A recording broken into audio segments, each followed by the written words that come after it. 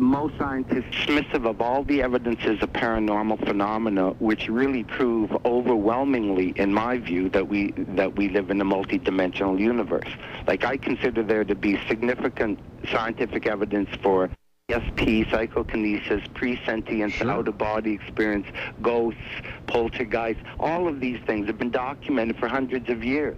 There's so much not only evidential, anecdotal evidence, but also scientific investigations. So I think the case is overwhelming. I think it's been made. We just haven't been advanced enough to develop models to explain, okay, how can this be working now? And that's what we need to do now. Isn't it a shame that it just seems to be escaping science? Well, I think it's almost intentional in a way. I think Really? Yeah, I, I think it's th- these skeptics are. I think we have a new form of what I would call new think, and it's almost like an intentional effort to undermine the value and significance of religious or spiritual teachings, and offer us this what I would call pseudoscientific view instead. So I think it's almost intentional and it's kept out of the school. It's like Dean Radin says in his book. He says, you know, in the world there are maybe 50 people, scientists investigating paranormal phenomena, but it's like the most, one of the most profound areas of psychology. Whereas you have thousands of psychologists investigating trivial little issues in different parts of social psychology or personality theory. Everyone ignores the most critical issues. It's almost like there's been a um, you know that the church used to prevent prevent the advancement of science and then it's like scientific certain dogma became established in science and they prevented the investigation of these areas I mean, the CIA and people like this are more interested in it because of its possible applications. I mean, a lot of the Stanford research and such, it was done by intelligence agencies. Absolutely. Yeah, but it was kept out of the, you know, they, it's like you don't want it in the universities. People might be interested in it. like I, I don't, on my site, I, I did an internet survey last year of 13 Canadian universities, and I wrote each university a letter saying, is there anyone in your department who teaches anything of mystical or spiritual psychology or studies paranormal phenomena or researches consciousness? I bet you probably got almost zero. I got zero. I there wasn't one professor out of 600. There wasn't one mainstream course on those subjects. But from my view, like those are the most profound, essential issues of psychology. But it doesn't, it doesn't fit into a behavioral paradigm. So it's been ignored, and that's why I think science has made such fundamental mistakes. How important for you to understand all this uh, was your training as a uh, forensic psychologist, let's say? Um, well, absolutely against everything I've learned. In fact, everything I learned in the mainstream of modern psychology, I now regard uh, as wrong, fundamentally mistaken. Like, psychology today is defined as a science of behavior and the mind. They have no psychology of the heart and soul. They have the complete wrong understanding of consciousness. They have the wrong understanding of the nature of self. They don't think we have a self. They think the self experience is produced up in portions of the cortex rather than there being any self within the heart. So I see the whole mainstream modern psychology as fundamentally mistaken. And, and I, I believe the body is ensouled um, through the action of the heart, through the infusion of soul energies into the blood, and it's related to the process of oxygenation. Your soul is connected to breathing. Like um, in Genesis, God breathes into man a living soul. So, you, so the heart and soul action are both connected to what I'm saying is your true self, this heart center in higher dimensional space. Okay. it, there's a physics to it. You know, it's a complex subject, but I've tried to introduce aspects of it. See, most we we want to learn to live in the consciousness of the heart. So as you go about your day, try to remember to come back to being present here now, wherever you are, and connect with your breathing. Your soul life is connected to your breath. There's four levels to your breath and four levels to your soul. So when you come back, just being present and connect with your breath And I tap myself over the heart space sometimes. So I can feel that brings my attention to that area. And try to experience yourself being in your heart. Your heart space is empty in ways. In a way, there's in mystical teachings, there's a form of nothingness at the heart of being. In a way, there's a vacated space within your heart. This is described in Kabbalah and Judaism. There's a hollow within the heart. So in a way, we want to center in the heart. So I actually tap myself over the heart and try to be centered in my heart space. And the mystics say self-realization, which is the attainment of the next level of awakening, involves a dissolution of the false mind into the lotus of the heart. So more and more, you, in a way, the, the turning of the mind is an obstacle to consciousness. You want to lessen or still the turning of the mind and learn to be more centered in your breath and, and tap yourself over the chest. Try to feel awakened in your heart. And remember yourself. I practice self-remembering, meaning as I go about my life, I make efforts every day to be waking up here and waking up there to try to increase my wakefulness and, and build on that.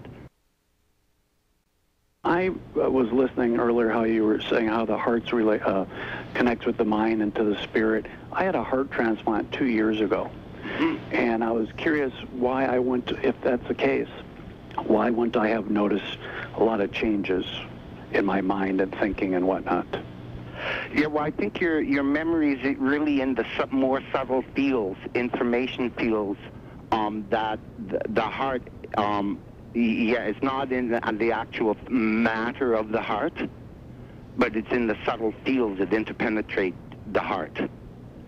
So your memory is in this deeper the uh, field information. So even though your heart might be replaced, I mean, there are a lot of paranormal experiences that people have with heart transplants. Did you have any of those type experiences? Such like? Have you ever read uh, Sylvia uh, Browne's book called The Change of Heart? No.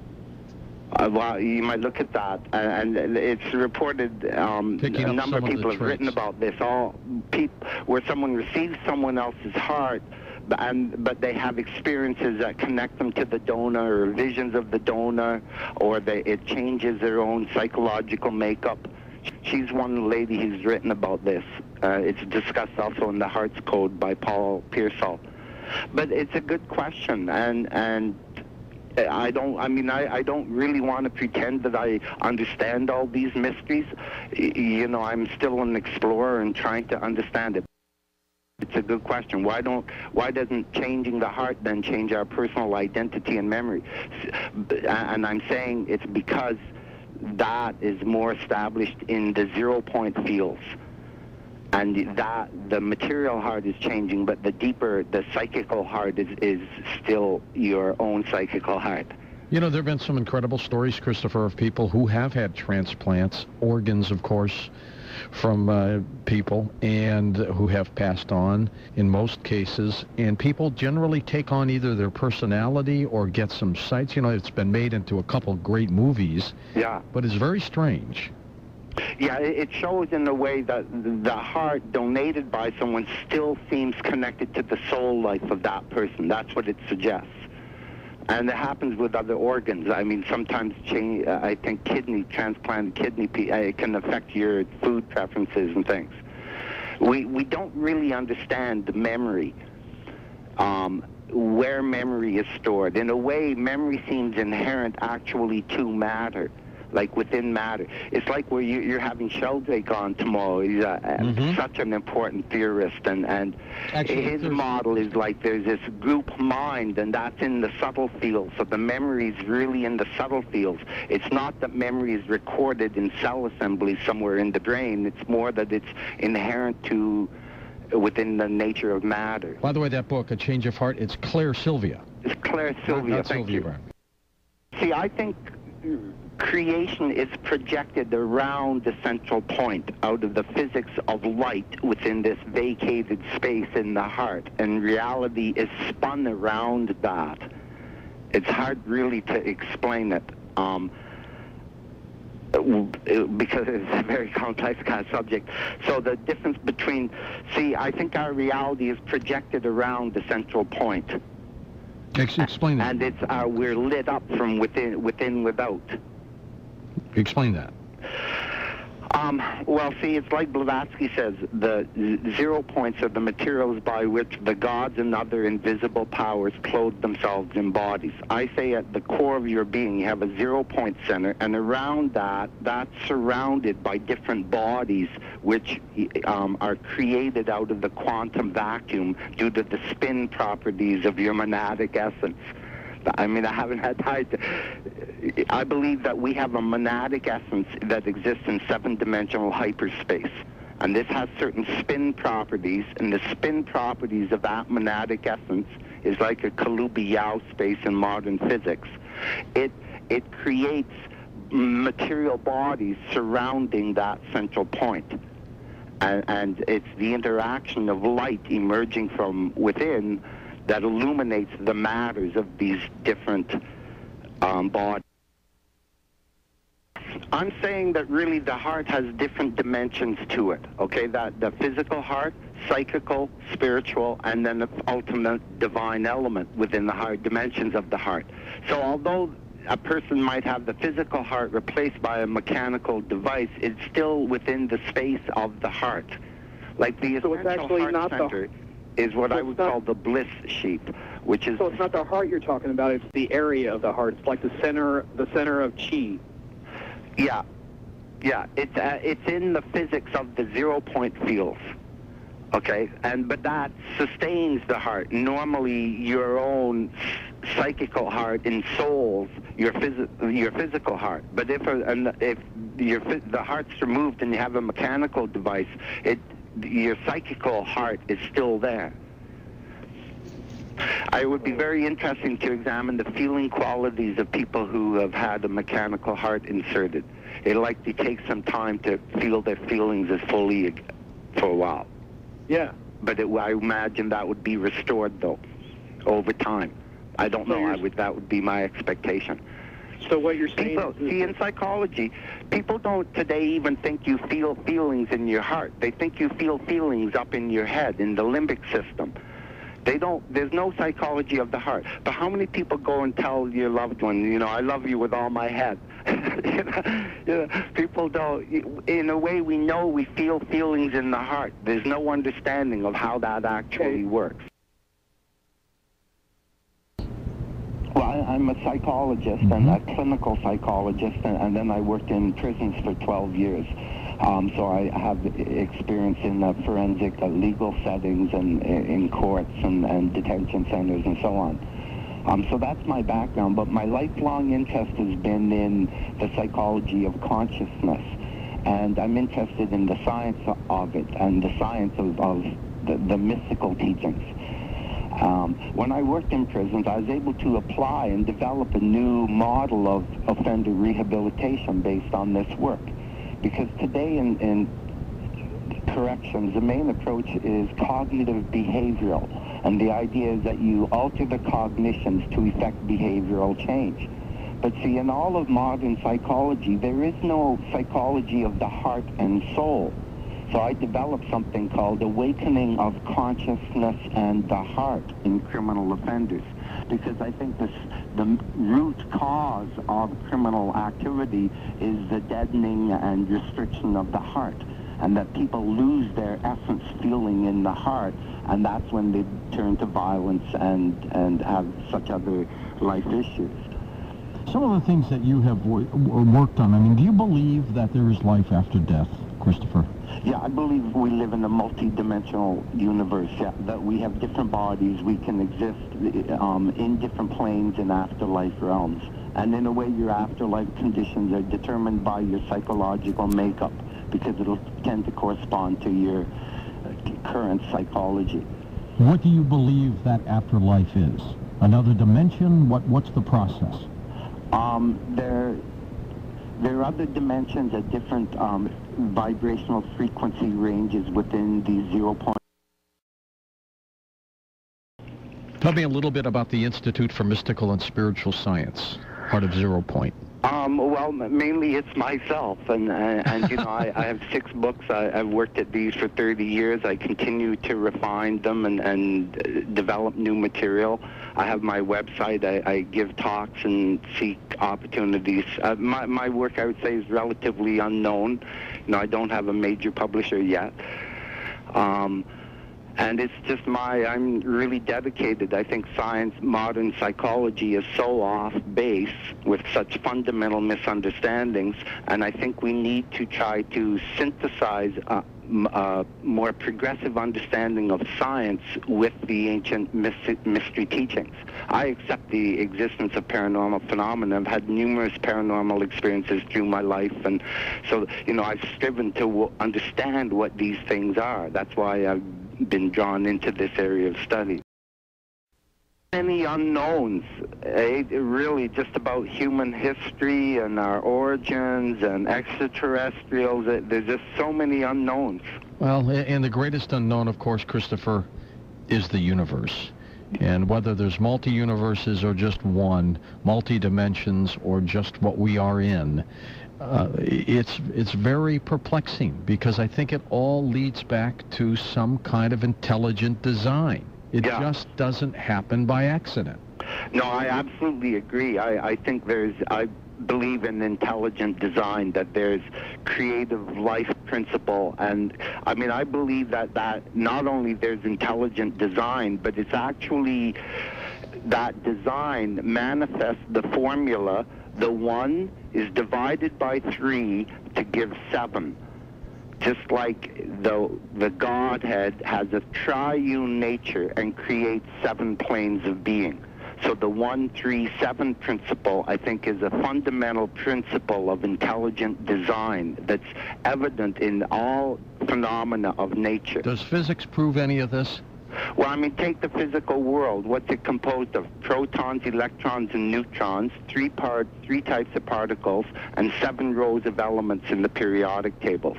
Okay? And maybe a few more we don't even There's know three, seven. Take light. Divide light by a three-sided prism, gives you a spectrum of seven colors. Hmm. Uh, See, they're both examples of the 1, 3, and 7. If you look at particle families in physics, there are three main particle families hadrons, leptons, and gluons, which are the messenger particles. It's three main um, families of particles. Each of those exist in three dimensions. So really, yeah, again, it's the, these laws of three and seven. I studied these in the area of science because most scientists always think dualistically, like they think there's matter and energy. Well, now in the new science, there's not only matter and energy, there's also information which is latent within the medium. So it's called third force science. Dean Radin talks about this. It's called third, and Talbot does. It's third force science. That information is latent within space. So whereas we always saw things dualistically, now we're arriving at the idea of the triunity of nature. Okay, your website, of course, is zeropoint.ca because you're in Canada. Zeropoint.ca. I've been doing a lot of actually. I've been doing a um a series of reviews to explain what I teach. I'm starting to do critiques of other people's work to contrast my own work with their. Like I'm So, uh, doing other- a other- critique of The Secret. I'm doing a critique of Down the Oh, Rabbit tell me Hole. about your thought of The Secret because that's a hot movie right now. Well, I think there are elements of value in it, but uh, I mean, to consider that that is the secret uh, uh, is Don't tell us the completely secret. fanciful, and there are far deeper secrets. In fact, it, most mystical teachings they're concerned with how do we get beyond this level of reality created by all these attractions and repulsions. Like how do we get free of this matrix of creation? And in a way. Um, Well, do you think it was well done? Did it get the message across? We um You hesitate. Well, got, got different messages. I think there's far too much focus that it's just our thoughts that create reality. Like, I, I see us as three-brained beings. We function mentally, emotionally, and physically. Okay, so like to create your own reality is not just a matter of thinking and conceiving it, it's also the emotional aspect of it because the thought is given form within the heart. In Kabbalah, the heart is that which gives form to the attributes.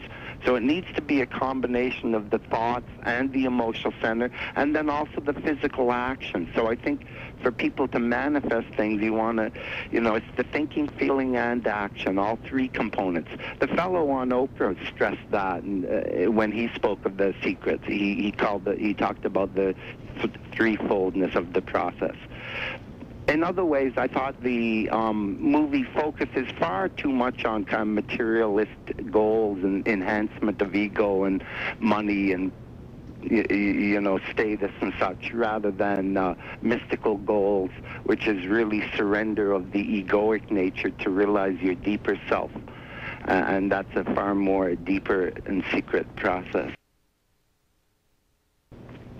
Of everything you've studied so far, Christopher, what to you seems to be the most mind-boggling? Just very, not necessarily perplexing or puzzling, but almost something you look at in awe. What might it be? Um, the kind of model in terms of ideas, well, the, the Blavatsky's concept of zero points and, and this idea of how um, how we come out down out of higher dimensional space, like to understand what that really means, not just in words, but to also understand it somewhat in your experience and being. Then there's the ladder of Jacob, a Kabbalist symbol where you string four trees of life together. In a way, that that ladder of Jacob is a, is a model of the structure of the quantum vacuum. That's essentially what it is. It's a model of, of the higher dimensional nature of space. So some of these mystical symbols, as you understand them, they're profoundly valuable. And in a way, you can experience aspects of this.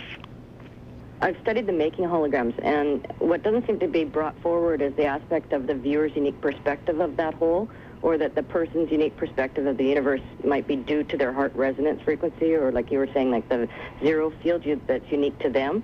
And when you make a hologram, there's two different kind of basic types. There's transmission and there's projection holograms. And again, yeah. people don't really refer to or bring that aspect when they talk about the holographic universe. And I kind of think you know, that's the difference between uh, projection and transmission when we're kind of talking about psychology. And I was wondering if you want, had a take on this, and I'll hang up and listen off the air. Thanks. Well, no, hold on. And, and hold on. Still there? Like, uh, interesting yeah, question. Sorry. And one thing in response to Talbot's book and the holographic paradigm in general is that most of the people who use the holographic paradigm don't think there is any interior source of coherent light. Like when you do holographic photography, you have a point, a laser light, and that provides a source of coherent light. Now, Karl Pribram says there are no laser beams in the head. No, none of the holographers think that we have an interior source of coherent light. So when well, I say there's a jiva atma within the heart, this is a source of coherent light, which is the basis for creating holographic experience. Yeah, That's not in Talbot. Talbot also doesn't have this concept of there being a coherent light source. Now, I haven't well, I really answered your question, but I, I wanted to bring that up. Sorry. Oh, then the other part was the transmission and projection holograms, like like yeah. on psychology. Um, see, I think creation is projected around the central point out of the physics of light within this vacated space in the heart, and reality is spun around that. It's hard really to explain it. Um, because it's a very complex kind of subject. So the difference between, see, I think our reality is projected around the central point